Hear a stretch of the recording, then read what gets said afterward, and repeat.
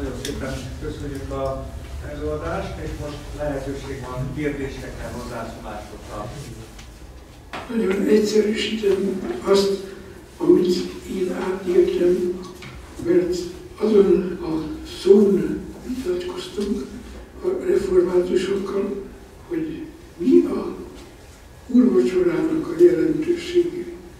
És úgy mondtuk el mi, hogy az evangélikusok a úrvacsora fegyelme alatt is élnek, és a reformátusok, ahogy én átérzem, ezt is minden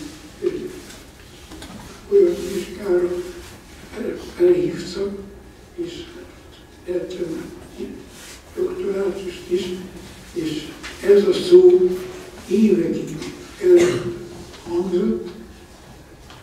Először volt olyan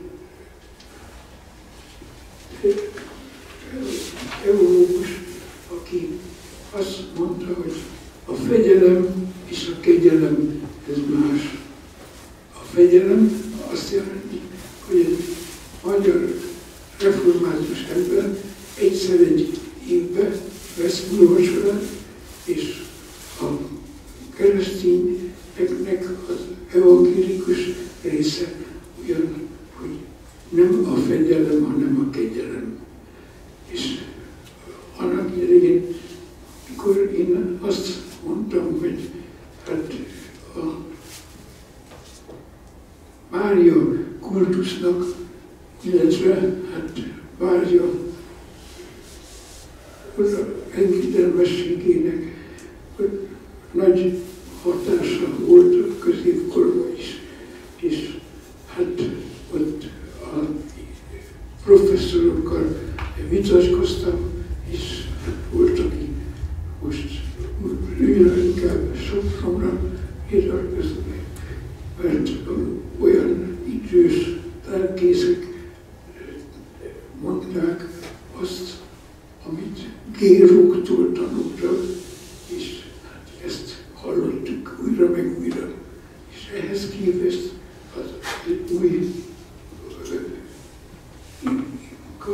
kar, teológiai kar, az nagyon komolyan vette azt, hogy itt arról van szó, hogy az kegyelem és nem fegyelem. Ez. Köszönöm szépen. Nagyon szépen köszönjük. Egy parancsolni további. Talán szabad az elsőre azt mondani, hogy ez önmagában ez az előadás azért ez egy nagyon nagy bizonyságtétel volt a liturgiáról, meg annak az erejéről. Most hagyd mondjam azt, hogy azért ez egy eléggé abnormis magatartás egy e, kormánybiztos részéről, hogy, hogy ennyire komolyan felkészüljön egy ilyen előadás. Most bocsánat, hogy így mondod, ugye megtetszik érteni, hogy hát azért az ő gyakorlatával, az ő tudásával sokkal könnyebben ezt egy-két ilyen kis szócskának egy papírlapra vetésével is bőségesen egy kiváló eladást lehetett volna tartani. De hát itt azért ennél sokkal több történt. És, és ebben valahogy benne van egy, egy nagyon nagy alázat avval szemben, amiről, amiről beszéltek.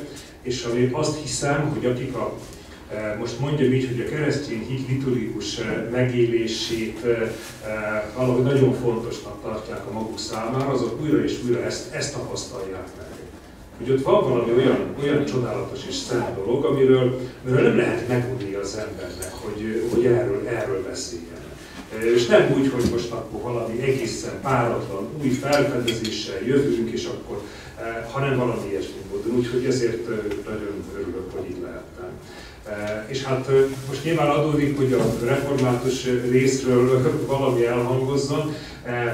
Én azt gondolom, hogy miközben nyilván megvannak a, a református, meg azon belül a magyar református hagyományoknak a maguk sajátosságai és szépségei, és ezek nyilván fontosak a számunkra. Én azt gondolom, hogy minden liturgikus hagyomány az valahol az, az egyetemesre kell, hogy utaljon, és, és szól az egész keresztény világ számára. És hogyha most azt kérdezem magamtól, hogy vajon a e, mi hagyományunk, ami azért, hát ezt mindenki tudja, ez a legszegényesebb hagyomány, e, liturgiai szempontból. hogy ennek mégis akkor, akkor mi az alapvető üzenete vagy mondani valója az egész keresztény világ számára, akkor az pontosan abból fakad, amire utalt is Hafenser Károly, hogy a reformáció, a református viszonyulása a liturgiához egy ilyen zöldmezős beruházásként indul. Tehát nem úgy, hogy most akkor nézzük meg, hogy mi az, amit megtisztítani kell, mi az, ami, amire vigyázzunk, hogy nem maradjon meg. Egy ilyen is van, de alapvetően van egy zöldmezős ami mögött sok minden okot van, el is hangzott több mindenettől, de, de nagyon lényeges ebből a, a Calvinnak tüdősképpen, és ugye a francia háttere. Tehát egy ilyen francia pasas, akinek, eh, ahogy egy francia park kinéz, eh, csinálunk egy ilyen káprázatos geometriai eh, eh, állapot, és ezt valósítjuk meg. Kicsit túlzok természetesen, de ez nagyon erősen benne van. Na most eh, pontosan ezért érdekesek azok a pontok, amiben ezzel a teljesen új úttal ugyanazokra a leglényegesebb következtetésekre jut el, mint amelyek természetesek voltak azok számára, akik benne voltak egy hagyományban. És hát ilyenek ezekre azért történt is utalás, de ezek valóban abszolút döntő dolgok, hogy hát eleve ha arra gondolunk, hogy a, a, a, az unió mysticacum Christónak a gondolata, tehát hogy jut el egy ilyen, egy ilyen, egy ilyen eh, francia jogász figura, maga hihetetlen ilyen matematikai jellegű, deduktív agyával ehhez. Tehát tényleg úgy jut el, hogy, hogy végigmegy egy úton, és ott akkor erre bukkan rá. E, amiről szintén volt e, utalás is, ami hát persze borzasztó távol a mostani gyakorlattól sajnos. E, ott az egészen élesen ugye így fogalmazta ezt meg Calvin, hogy az a gondolat, hogy nem minden vasárnapi Isten tisztelet legyen urvacsorás, az az ördögtől van. Na, most akkor azért ezen is érdemes gondolkozni, meg az, hogy, a, hogy, az, hogy az Isten tiszteleten a gyülekezet részéről alapvetően az történik, mi történik a Zsoltár éneklésben? Monotikus Zsoltár imádkozás. Ebből nyugodtan azt mondhatna egy katolikus, hogy hát kérem, ezt már felfedeztük, a, a Gregorián az ugyan, ugyanerről szól. Na most azért érdekes ez, mert úgy gondolom, hogy ameddig csak arról van szó, hogy folytatódik, kiavítódik, módosul egy hagyomány, akkor sok mindenre lehetne azt gondolni, hogy hát ott még többet kellett volna módosítani, sok mindent rendbe rakott Luther, de még többet kellett volna, csak hát még nagyon a gravitációs ereje túlságosan megvolt sok mindennek, ami nem igazán a keresztény lényegéből fakad. De hogyha azt látjuk, hogy egy teljesen más úton elindulva, ilyen zöldmezős beruházással is, pont a leglényegesebb dolgokban, nem a, nem a részletekben, de a leges, leglényegesebb Isten tisztelettel kapcsolatos dolgokra ugyanazok a végeredményekre jut el eh, Calvin, akkor, akkor azért az szerintem az gyönyörű szép, és az egy, egy, egy nagyon hangsúlyos bizonyíték ezeknek a jogosultsága mellett. Egy más kérdés lenne, de ezt majd külön meg lehet beszélni, hogy ez, ez a Kálmira igaz, Zwinglire nem igazán, és, de hát ez már tényleg nem ehhez az estéhez tartozik. Köszönöm szépen. Köszönöm szépen ennek a jelzését, és ennek egy mai, mai vonatkozását hadd folytassam, amit Galatnai tanár úr István barátom mondott el. A mai vonatkozása az egésznek az, hogy amikor elkezdünk formákat felbontani, és valami egészen újat szeretnénk, lásd ifjúsági istentisztelt, családi istentisztelt, legkülönbözőbb módok, akkor amik, akik ezt komolyan veszik, és közösségben, sok imádsággal, ötletek gyűjtésével, ismereteiknek az egymás mellé rakásával megalkotják, akkor kiderül, hogy egy idő után mindenki ezt az utat elkezdi járni. Mindenki elér ugyanahoz a, ahhoz az úthoz, mert, mert a szereplők ugyanazok, az Úristen, aki megajándékoz bennünket, mi, akik vágyunk a közelébe, vagy reagálunk az ő megkeresésére, és akkor ugyanazok az alapvető pillérek alakulnak ki, akár egy kírie, akár egy glória, a bűnvallás, az a dicsőítés, az ige hirdetése, lehet, hogy máshogy, más súlypontokkal, más kiemelkedő pontokkal, de ugyanoda eljutunk. És ebben van azért valami örömteli és ígéretes. Mindig az a kérdés, hogy ezek mikorra és hogyan tisztulnak le. Luthernek a Torgaúj kápolna avatásán mondott prédikációját említetted, hogy az nem az, az Isten tisztelet meghatározása. Jó, hát erről lehet vitatkozni, de az, hogy az Isten tisztelete, Isten szól hozzánk, tehát ige van, ez nem feltétlenül kell, hogy azt jelentse, hogy szentségek nélkül. Mert hiszen a szentségek csak is az igével együtt ö, szentségek. Tehát lehet úgy magyarázni, hogy ez nagyon jó definíció tulajdonképpen, ha így értjük az igét. Saját gyakorlati tapasztalatunk esetleg, akár református, akár evangélikus háttérből jövünk.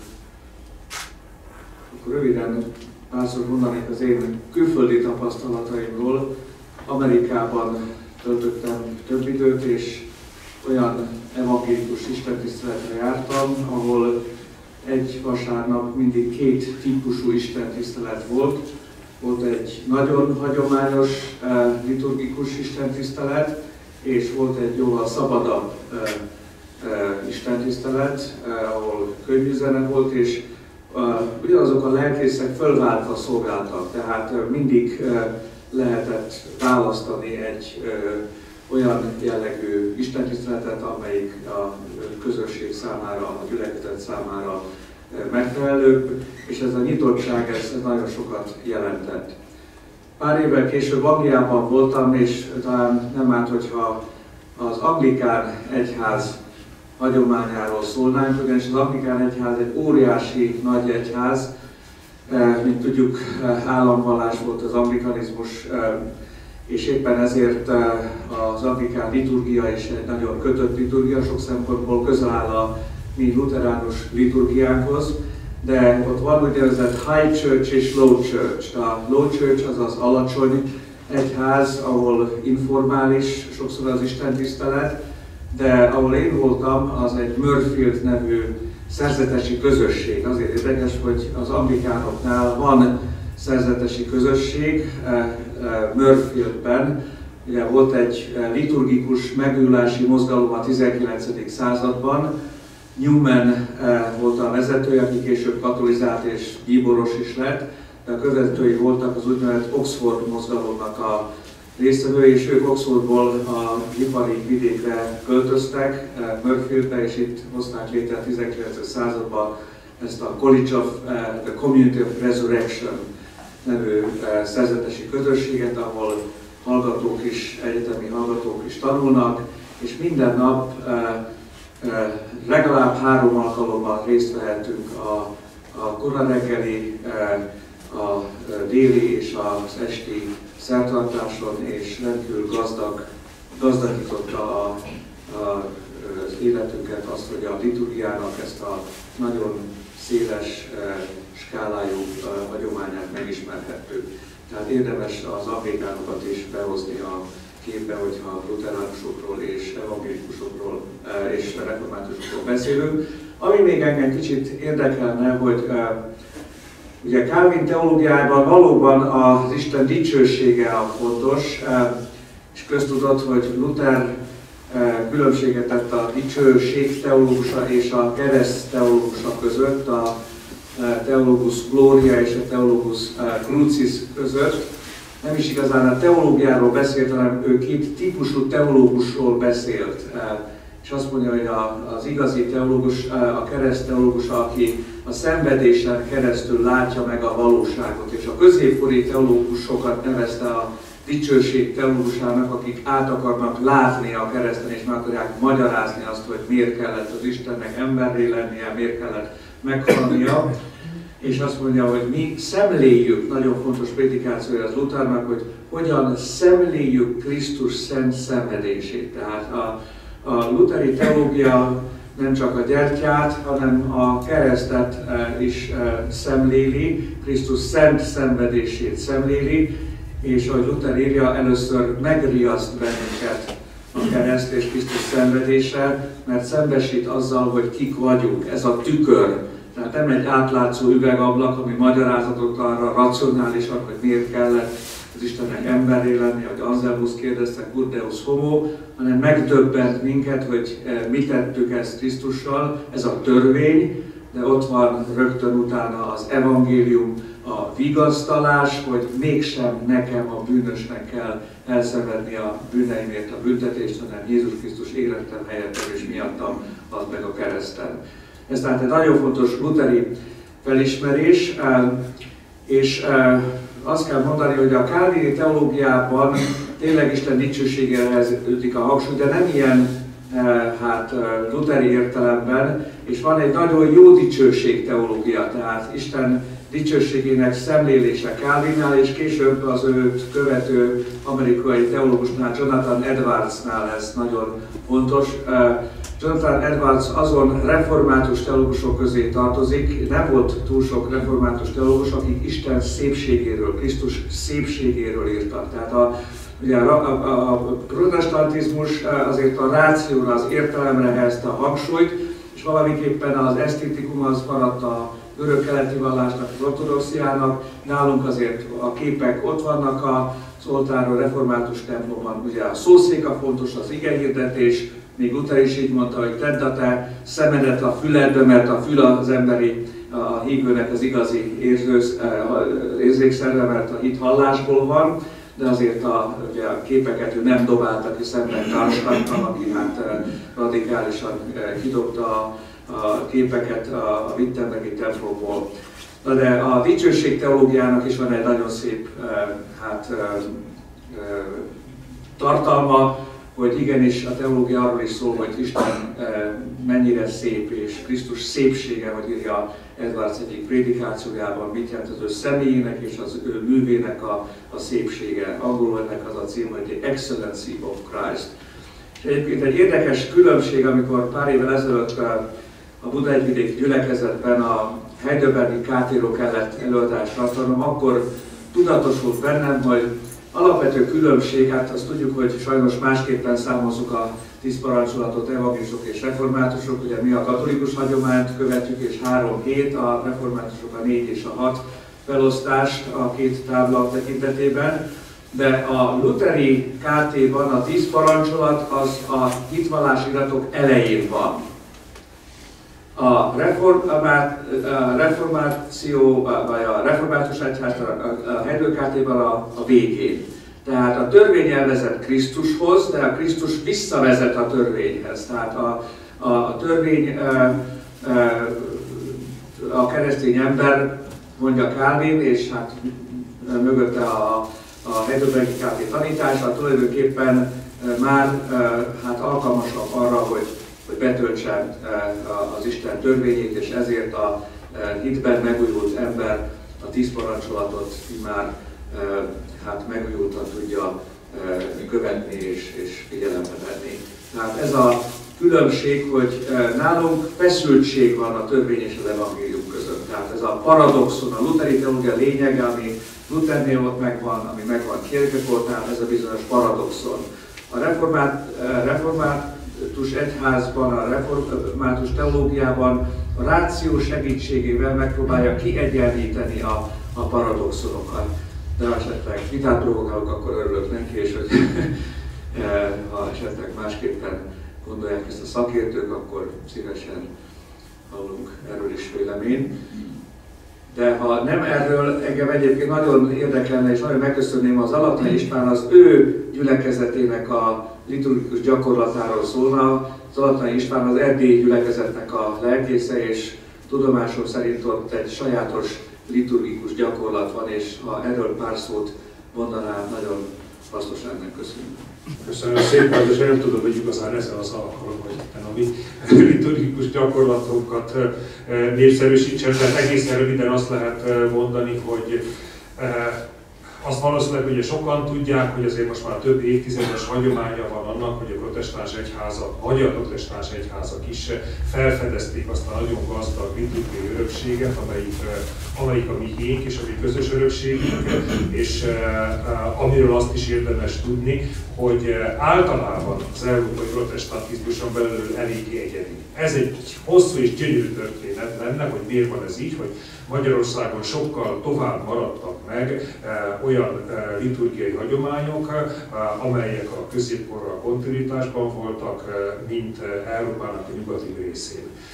És hát sokan voltak, először inkább egyházzenészek, de aztán teológusok, lelkészek is, akik, akik felfedezték ennek a világnak a, az ajándékait, és akkor megpróbálták ezt elkezdeni egyre jobban beépíteni az egyházi gyakorlatba. Hát ugye az evangélikus egyház sok szempontból előrébb járt, a református egyházban is sok minden ebben kapcsolatban történt.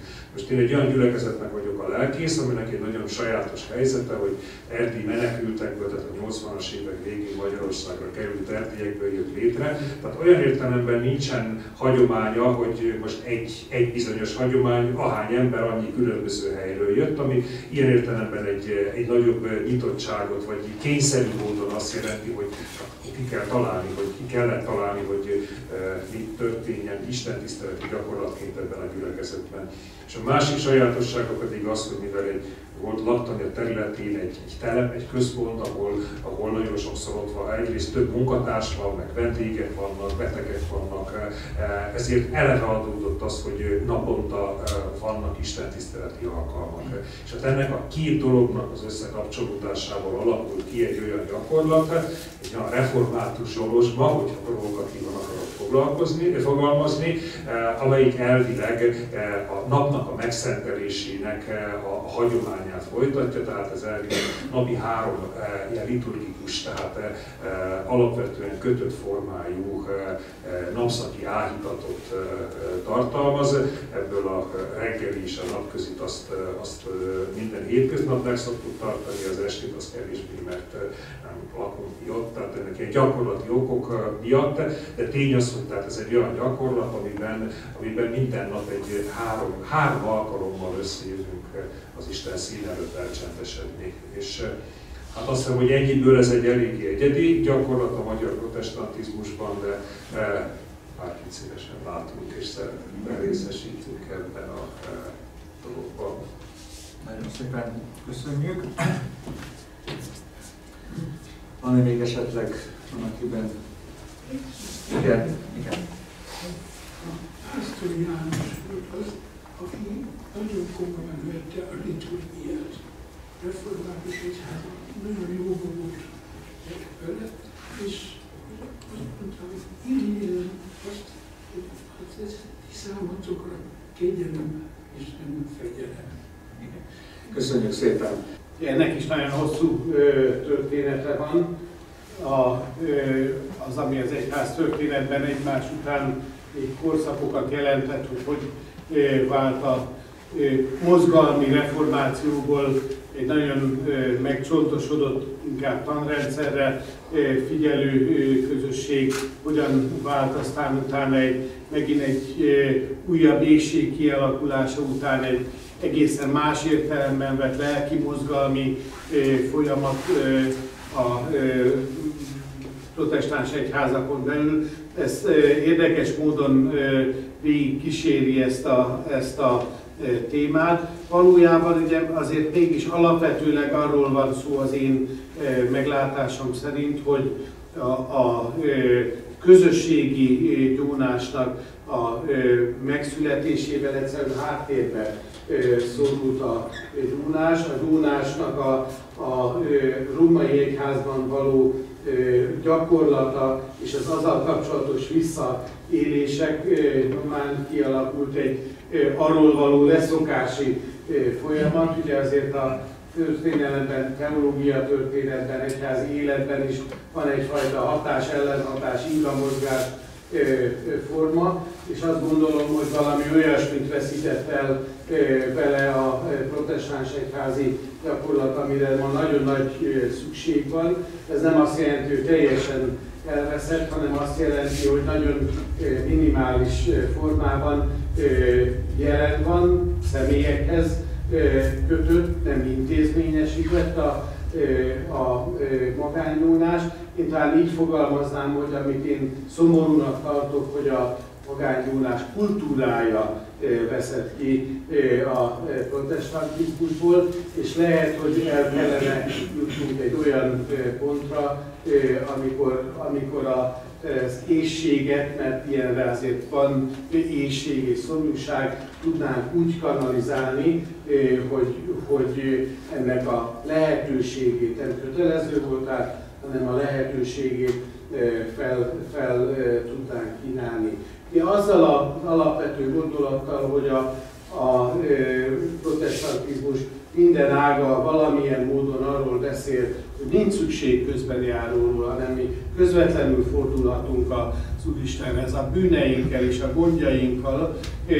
Ez hozott magával egy olyan gondolkodásmódot is, hogy nincs szükség arra, hogy a bűnbánatunknál, a bűnbocsánat meghirdetésénél legyen ilyen értemben közvetítő, pedig ha arra gondolunk most nem is, nem is, ne is menjünk messzebb, mint amit Luther a KT anyagban mond a gyónásról és a, a bűnbocsánatról, arról, hogy mit jelent az, azt elfogadni, hogy abban az Isten szolgájában maga az Isten hirdet nekem személyre szóló módon bűnbocsánatot.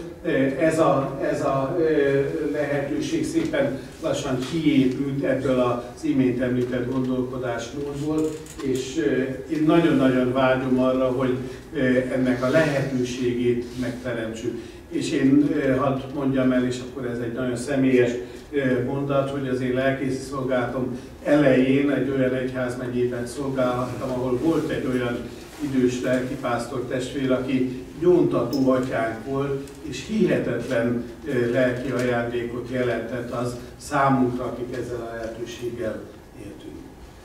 Köszönöm szépen. Még annyit, hogy Luther először a bűnbánat szentségét külön szentségnek tartotta, és miközben írta az egyház babiloni fogsága színültött, akkor azt mondta, végeredményben ez a szentség a kerességhez tartozik és ugyanakkor az egyház jegyei kapcsán említi az oldás és kötésnek a, az egyik jegyét, tehát ami az egyháznak a jegye, Noté Ecclesi egyike. Óriási erő van abban, amikor a lelkész bűnbocsánatot ér. Egóti absolvo, tehát a, aki a bűnbánatot tart és átéli azt, hogy ö, ö, bűnös, és amikor a feloldozza a lelkész és a hívő ezt átéli, annak óriási szerepe van, és a magángyónás az örömteli dolog, hogy újra megjelenik egyházunkban ennek a lehetősége. Van olyan fiatal lelkész kolléga, aki ezzel foglalkozik, Firerről e, tanulmány, sőt volt korábban Kukázer József, aki gyónásról és az egyházkegyelemből, nagyon érdekes, hogy két témáról is írt, és azt hiszem, hogy nagyon nagy szükség van nem csak a mi egyházunkban, hanem a református egyházban is, nagyon sok szomorú, tragikus esetről hallunk éppen lelkészek körében. A lelkészek lelki gondozása mennyire nem megoldott dolog, és a lelki atya, akinek meggyónhat egy lelkész, ez nagyon fontos, és azt hiszem ezt a jövőben remélhetőleg erre minél több lehetőség lesz, hogy a magángyónás gyakorlata ismét valóságos legyen. Igen, még ott egy kérdés. Igen, tessék parancsolni akkor valaki mondja a tiszteletes asszony után, hogy hát Adi jut eszébe, mondja, aki a hajnali rorátékat irigyelte meg a katolikus testvéreinktől, és akkor valaki meg még azt mondja, hogy és akkor gondoljunk Csíksomjó csodájára, meg hát a Csíksomjói Passió című színházi előadásnak a csodájára, amelyik a Udai Várban, a Várszínházban volt, és akkor az ember most itt az évforduló kapcsán hívő luteránusként azon gondolkozik, hogy amikor katolikus testvéreinket is megkérdezik, hogy hát hogyan gondolnak erre, akkor az ember azt is érzi, hogy szinte egy akolba kényszerít bennünket a talán a szekularizációnak szokták ezt mondani, és a nyugat-európai hívő keresztjének már többek szerint, akik ott jártak, azok jobban tudják bizonyára, kialakult egy olyan gyakorlat, hogy már nem is nagyon kérdezik a keresztjének az, hogy ki melyik közösséghez tartozik, hanem majdnem inkább csak azt mondják, hogy hívő, gyakorló, keresztjén, Isten szerető, Isten félő, de valami új, új helyzet kezdődik valószínűleg a számunkra, akik most évfordulót ünneplünk, újra át kell gondolnunk, szinte előről újra gondolnunk azt a bizonyos Luther kabátot esetleg, hogy e, mi lesz a mi helyünk ebben az új helyzetben, ami a jó Isten tudja, hogy hogyan köszönt ránk. Köszönjük szépen!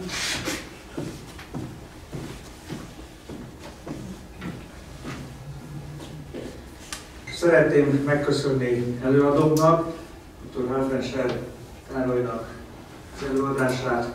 Szokás szerint mindenki egy olyan könyvet kap, ami már valószínűleg megvan neki, de nem lehet eleget olvasni sem Budapesten, sem Révfülöpön, ez után asztali beszélgetés. és Isten áldja meg szolgálatodat.